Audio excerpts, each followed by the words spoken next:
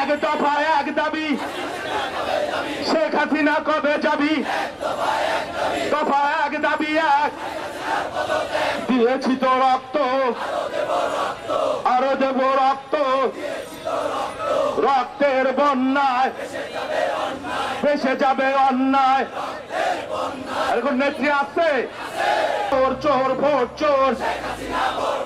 চোর চোর, ভোট চোর দফা এক আরে চুয়ান্না জোরে বলতে হবে এখন নেত্রী আসছে? ও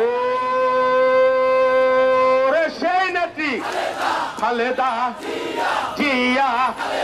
খালেদা। জিয়া। খালেদা। জিয়া। জিয়া জিয়া তারেক তারেক তারেক তারেক তারেক পাকশালীদের রাস্তা না ভোট ডাকাতের রাস্তা না দিয়েছি তো রক্ত রক্তের বন্যায় দেশে যাবে অন্যায়।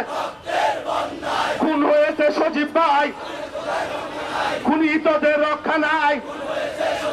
সজীব ভাইয়ের রক্ত পিঠা যেতে দেব না। লক্ষ্মীপুরের সজীব ভাই, কৃষক দলের সজীব ভাই। ওবায়দুল কাদের সাহেব, তিনি একটা সভায় বলেছেন যে, বিএনপি বাংলাদেশে অরাজকতা সৃষ্টি করবার জন্য তারা সীমান্তে অস্ত্র জড়ো করছে। কি ভয়ঙ্কর কথা। কোন সময়? যখন জনগণ জেগে উঠছে, যখন তাদের জনগণ চূড়ান্ত আন্দোলন শুরু করেছে, তাদের অধিকার আদায়ের জন্য সেই সময় এই কথা বলে তারা নতুন একটা চক্রান্ত ষড়যন্ত্র শুরু করবার পায় তারা করছে বলতে আমরা পরিষ্কার করে বলতে চাই, এই সমস্ত কথা বলে আপনারা যদি আবার জনগণের উপর কোনো অস্ত্র ব্যবহার করেন, তাহলে সমস্ত দায় দায়িত্ব আপনাদেরকে বহন করতে হবে জনগণ তার উত্তর দেবে, বন্ধুগণ। আমি সমগ্র দেশের মানুষের কাছে এই বিষয়টা তুলে ধরলাম এই জন্য যেটা এমন এক সময় বলা হচ্ছে, যখন মানুষ তার অধিকার আদায়ের চূড়ান্ত লড়াইয়ের সংগ্রামের দিকে এগিয়ে চলেছে, বন্ধুগণ। বন্ধুগণ, শুধু তাই নয়, আজকে অত্যন্ত সুপরিকল্পিতভাবে অত্যন্ত সুচিন্তিতভাবে তারা এই সহিংসতাকে ছড়িয়ে দিতে চায়। আপনারা নিশ্চয়ই লক্ষ্য করেছেন যে তাদের চব্বিশ তারিখে একটা কর্মসূচি ছিল যুব লীগ স্বেচ্ছাসেবক লীগ এবং ছাত্রলীগের। সেই কর্মসূচি তারা আবার শিফট করেছে সাতাশ তারিখে। কেন? উদ্দেশ্য একটাই, যে তারা সহিংসতা চায়, তারা কনফ্রন্টেশন করতে চায়। কার সঙ্গে? জনগণের সঙ্গে। তখনই একটা পক্ষ কনফ্রন্টেশনে যায়, তখনই সহিংসতা যখন যায়, যখন তার সমস্ত জনসমর্থন হারিয়ে ফেলে। বন্ধুগণ, এটা প্রমাণিত হয়েছে যে আওয়ামী লীগ তাদের সমস্ত জনসমর্থন হারিয়ে ফেলেছে। আমি একটি কথা খুব গুরুত্ব দিয়ে বলতে চাই যে বাংলাদেশের বিচার ব্যবস্থাকে তারা এমন এক কাজ নিয়ে এসে পৌঁছেছে যেখানে সাধারণ মানুষের ন্যায় বিচার পাওয়ার আর কোনো সুযোগ নেই। এই কথাগুলো বললে আবার কনসেপ্ট অফ কোর্ট হয়। বদিরানা মজুমদার সাহেব তারা একটা মামলা করেছিলেন কয়েকদিন আগে। খদিজুল কুবরার কে জামিন দেওয়া হচ্ছে না। হাইকোর্টে তার জামিন দেওয়ার পরে বোধহয় আপনারা কি বলেন? অ্যাপেলের ডিভিশনে সেটাকে চার মাস স্থগিত করা হয়েছে। আমরা এত কষ্ট পাই, দুঃখ পাই, অবাক হই বিস্মিত হই যে খাদিজা একটা ইউনিভার্সিটিতে পড়া মেয়ে পড়ছে। সে শুধু একটা রাখার কারণে বা একটা টেলিভিশন একটা কাজ করার জন্য তাকে আজকে দশ মাস ধরে কারাগারে অন্ধকার প্রকোষ্ঠে আটক করে রাখা হয়েছে এবং তার জামিন দিয়েছে হাইকোর্ট, সেই জামিনকে স্থগিত করা হয়েছে। এবং এই কথা বলার জন্য, এই ব্যাপারে কথা বলার জন্য বদির আলম মজুমদার সাহেবের নামে আমরা নাকি কন্টেম্প কোর্ট করার জন্য আবেদন করা হয়েছে। মানুষ যাবে কোথায়? আমাদের বিজ্ঞ আলোচকরা বলেছেন, দেশনেত্রী বেগম খালেদা জিয়া তাকে সম্পূর্ণ একটা মিথ্যা মামলায়, যেখান থেকে কোনো দুর্নীতি হয়নি, সেই মামলায় মাত্র দুই কোটি টাকার একটা মামলায় তাকে সাজা দিয়েছে। সাজা দিয়েছে একবার আপনার সাত বছর, তাই না প্রথমে? প্রথমে পাঁচ বছর, তারপরে দশ বছর অ্যাপেলের ডিভিশন। থেকে সর্বোচ্চ আদালত এই যে বিচারপতি খায়রুলাকে তত্ত্বাবধায়ক সরকারের ব্যবস্থা করছে, এটাকে আওয়ামী লীগ তারা কোনো আপনার এক্সিকিউটিভ অর্ডার দিয়ে করেছে? না। এটা ওই বিচার বিভাগের সাহায্য নিয়ে বিচারপতি খায়রুল হকে জনগণের সঙ্গে প্রতারণা করে, বিচার ব্যবস্থার সঙ্গে প্রচারণা করে তিনি যে শর্ট ভার্ডিটকে ভিন্ন খাতে প্রবাহিত করলেন, অর্থাৎ সেখানে তিনি ওই যে পরপর দুটো ইলেকশন হতে পারে, সেটাকে বাদ দিয়ে দিলেন। এটা কিন্তু আপনার ওই বিচার বিভাগ থেকে আর সেটাকেই কেন্দ্র করে শেখ হাসিনা তার সেই কমিটিকে নির্দেশ দিলেন যে না, নির্বাচন হবে দলীয় সরকারের অধীনে সবাই, দেশের সবাই নব্বই ভাগ মানুষ, তারা বলেছিলেন, রাজনৈতিক দলগুলো বলেছিল আমেরিকার সিকিউরিটিরা বলেছিল, এমনকি যে পার্লামেন্টারি কমিটি যেটা গঠন করা হয়েছিল, সুরজিৎ সেনগুপ্ত এবং আপনার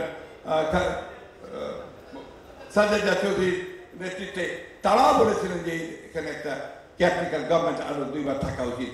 কিন্তু সেটাকে সম্পূর্ণ বাতিল করিয়ে আজকে এই যে এই যে একটা ভয়াবহ অস্থিতিশীলতা, একটা সংঘাতময় পরিস্থিতি, একটা অনিশ্চয়তা জাতির সামনে সৃষ্টি করা হচ্ছে, শুধুমাত্র ওই রায়কে কেন্দ্র করে, ওই ফিফটিন্থ অ্যামেন্ডমেন্টকে কেন্দ্র করে বলতে পারে এই ফিফটিন্থ অ্যামেন্ডমেন্ট করেছে তারা।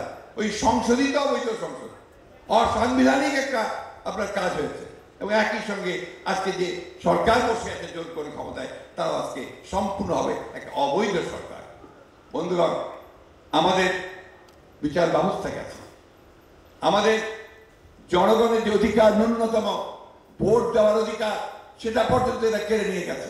দু হাজার চোদ্দ নির্বাচন, আঠারো নির্বাচন আমি রিপিট করতে চাই না।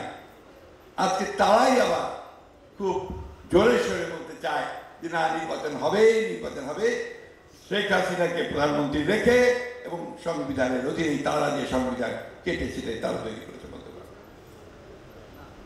জনগণ খুব পরিষ্কার করে বলে দিয়েছে। একটার পর একটা ঘটনা ঘটেছে যেগুলো আপনার বলার প্রয়োজন পড়ে না।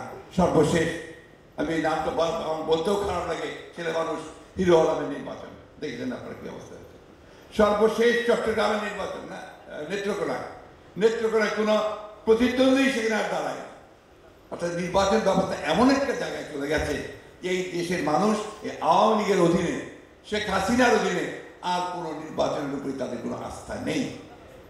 একটাই মাত্র মানুষের এখন আশা, দাবি, সেটা হচ্ছে যে নির্বাচন ব্যবস্থায় পরিবর্তন করে যেন জনগণ ভোট দিতে পারে সেই অবস্থা সৃষ্টি করা। গত পরশু রাতে একটা বিদেশি দূতাবাসের একটা রিসেপশন ছিল, সেখানে আমি যাওয়ার জন্যে ওই গুলশান ক্লাবের কাছে এসে আমার গাড়ি আপনার আটকে গেল ট্রাফিক জ্যামের জন্য। তো আপনারা জানেন যে ট্রাফিক জ্যাম হলেই আপনার যারা ছোটো ছোটো হকার্স বিক্রি করে, বিভিন্ন ফলমূল বিক্রি করে, অথবা আপনার টাওয়েল স্টারগুলো বিক্রি করে, এক মহিলা, তিনি হিজাব পরা, তিনি টাওয়েলস বিক্রি করছিলেন। উনি আমার গাড়ির পাশে এসে আমাকে দেখে ওদের চিনতে পেরে আমাকে বললেন, গ্লাস নামান। গ্লাস নামিয়েছি। তিনি বললেন আমাকে বলছে যে আমরা ভোট দিতে চাই। আমরা পরিবর্তনটা চাই। আমার বাচ্চাদেরকে আমি দুই বেলা খাওয়া দিতে পারি না। তাদেরকে স্কুলে যেতে পারি না। চাল, ডাল, তেল, লবণ এমন দাম বেড়েছে। আমাদেরকে শুধু ভোটটা দেওয়ার একটা ব্যবস্থা করে দেয় সহকর্মীবৃন্দ, আজকে গোটা দেশের মানুষের একটাই আবেদন যে তারা এই সরকারকে পরিবর্তনের জন্য তারা একটা নির্দলীয়, নিরপেক্ষ সরকারের অধীনে তারা একটা নির্বাচন চায়। যে নির্বাচনে তারা তাদের ক্ষমতা প্রয়োগ করতে পারবে। তারা তাদের মতামত প্রকাশ করতে পারবে তারা তাদের প্রতিনিধি নির্বাচন করে তারা জনগণের একটা পার্লামেন্ট তৈরি করতে পারবে। এই পনেরো ষোলো বছর ধরে এই আওয়ামী লীগ যারা এখন ক্ষমতায় বসে আছে, তারা আমাদের সমস্ত অর্জনগুলোকে ধ্বংস করে দিয়েছে। তারা মুক্তিযুদ্ধের ইতিহাস বিকৃত করেছে। তারা মুক্তিযোদ্ধাদের রাজাকার বানিয়েছে। আর যারা মুক্তিযুদ্ধের কারণে তারাই এখন হয়ে গেছে মুক্তিযুদ্ধের সবচেয়ে বড় চেতনাধারী বন্ধুগণ। আজকে স্বাস্থ্য ব্যবস্থা ধ্বংস করেছে। আপনারা দেখছেন ডেঙ্গুতে কি অবস্থা? সারা ঢাকা শহর শুধু নয়, গোটা বাংলাদেশ আজকে ডেঙ্গু মহামারীতে পরিণত হয়েছে। কিন্তু যখন একটা মহামারী হচ্ছে, তখন স্বাস্থ্যমন্ত্রী বিদেশে বেড়াতে গেছেন আর সিটি কর্পোরেশনের মেয়র তিনি ফ্যামিলি নিয়ে ইউরোপে বেড়াতে গেছেন। আজকে শিক্ষা ব্যবস্থা। আমাদের এখানে প্রফেসর ডক্টর নজরুল ইসলাম সাহেব আছে। আসিফ নজরুল সাহেব আছেন। তিনি খুব ভালো করে জানেন যে শিক্ষা ব্যবস্থা কোথায় গেছে, কোন জায়গায় গিয়ে পৌঁছেছে। অর্থনীতি চূড়ান্তভাবে একেবারে বলা যায় নিঃশেষ হয়ে গেছে, ফোকা হয়ে গেছে। কয়েকদিন আগে দেখলাম ব্যাংকগুলো, তার যে পরিচালক, বেসরকারি যে পরিচালকরা আছে, তাদের কাছে ঋণ হচ্ছে দুই লক্ষ পঁচাত্তর হাজার কোটি টাকা। প্রতিদিন অর্থ পাচার হচ্ছে, প্রতি বছর এক লক্ষ কোটি টাকার মতো পাচার হচ্ছে, এবং এখন ইতিমধ্যে প্রায় প্রায় চোদ্দ লক্ষ চোদ্দ, পনেরো লক্ষ টাকা বিদেশে কোটি টাকা বিদেশে, হাজার কোটি টাকা বিদেশে পাচার হয়ে গেছে। এই একটা অবস্থার মধ্যে যখন আমার জাতির অস্তিত্ব বিলীন হয়ে পড়েছে, যখন আমার স্বাধীনতা বিপন্ন হয়ে পড়েছে, যখন আমার গণতন্ত্র বিপন্ন হয়ে পড়েছে, তখন আমাদের সামনে আর কোনো পথ খোলা নেই বলতে পারো।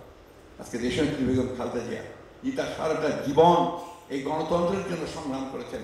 তিনি এখনও কারারুদ্ধ হয়ে গৃহবন্দী হয়ে বার করে আছেন।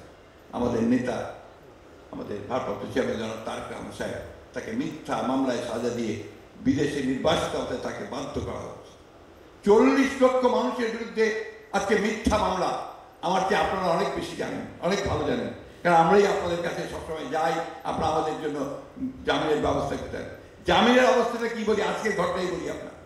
আমাদের ছাত্রনেতা আইনি, যে সাবেক ছাত্রনেতা আমাদের প্রচার সম্পাদক, লক্ষ্মীপুরে তারা পিটিয়ে, কুপিয়ে আমাদের এক ছাত্রনেতা সজীবকে, কৃষক নেতা, তাকে হত্যা করল। উল্টো তারা মামলা দিল অ্যানিকে এক নম্বর আসামি করে। চারটা, ছয়টা মামলা দিয়েছে।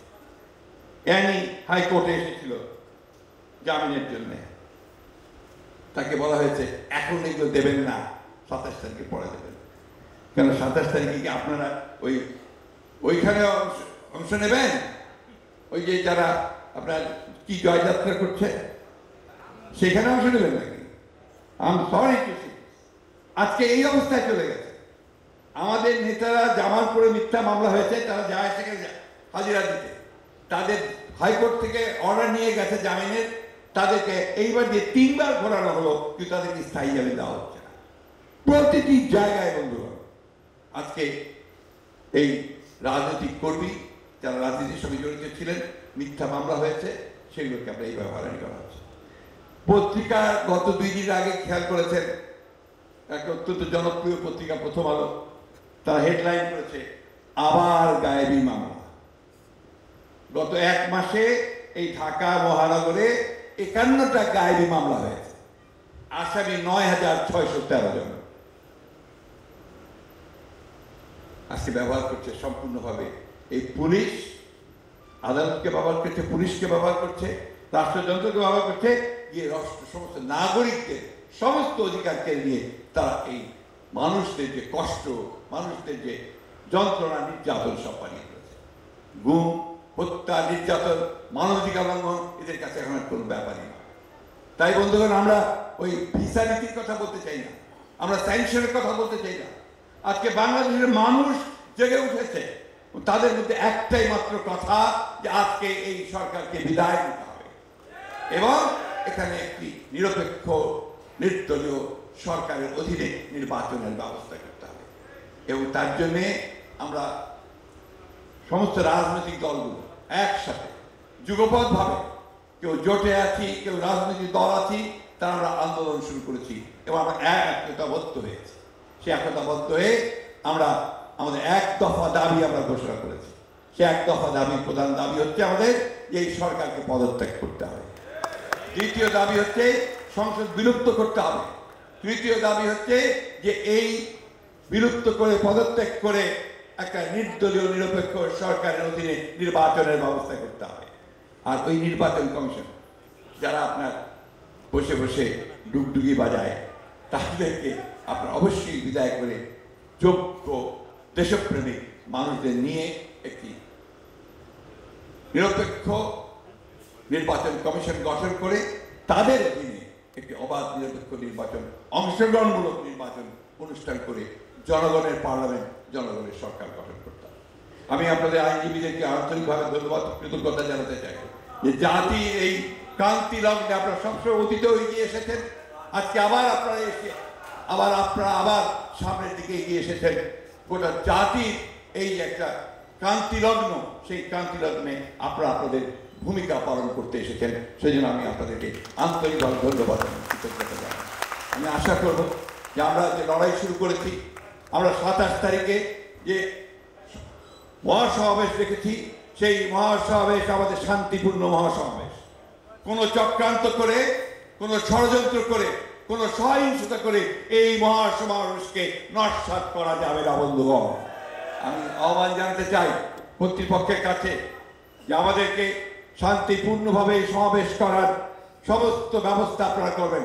অন্যথায় তার সব দায় দায়িত্ব সরকারকে, কর্তৃপক্ষকে যারা দায়িত্বে আছেন তাদেরকে বহন করতে হবে, বন্ধুগণ। আসুন, আমরা আমাদের উপরে যে পবিত্র দায়িত্ব দিতে হয়েছে, এই দেশ এই দেশমাতৃকা আমাদেরকে দায়িত্ব দিয়েছেন যে বাংলাদেশের জনগণকে মুক্ত করতে হবে।